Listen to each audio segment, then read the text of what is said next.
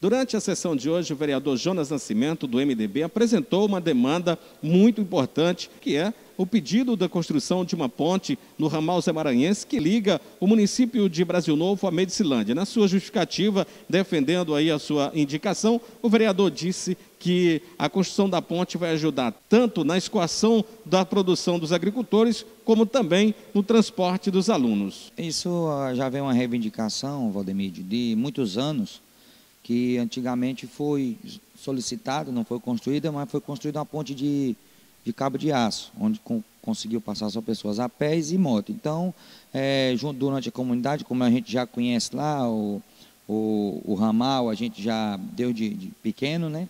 Então veio a solicitação da, da comunidade. Então, essa é uma parceria de grande importância para evacuar os produtos e o, e, e o tráfego do, dos, dos alunos, de pessoas que moram do outro lado e que usam a, a comunidade da Agrovila Duque de Caxias e dá acesso a vicinais tanto para o Pontal como para a região da Vicinal 20 e Brasil Novo todinho. A discussão da construção da ponte é uma parceria entre o vereador Jonas do MDB de Brasil Novo e do vereador Deca de Medicilândia, que segundo eles, essa ponte vai trazer benefício para os dois municípios. Juntamente com o parceiro o vereador Deca de Medicilândia, a gente sentou, conversou, a gente decidiu fazer essa parceria.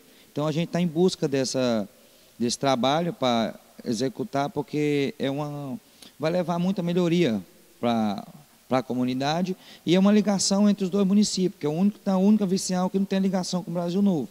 O vereador Jonas disse satisfeito em poder fazer essa indicação, sobretudo por ser da sua comunidade. A gente já vem sempre é, ajudando, acompanhando as pessoas e o objetivo da gente é trabalhar em prol da sociedade, fazendo os acompanhamentos, buscando é, emendas para que possa ser executada os serviços e, e deixar a, a população sempre a par do que está acontecendo e lutar por onde a gente né, nasceu e se criou. Então esse é o nosso objetivo.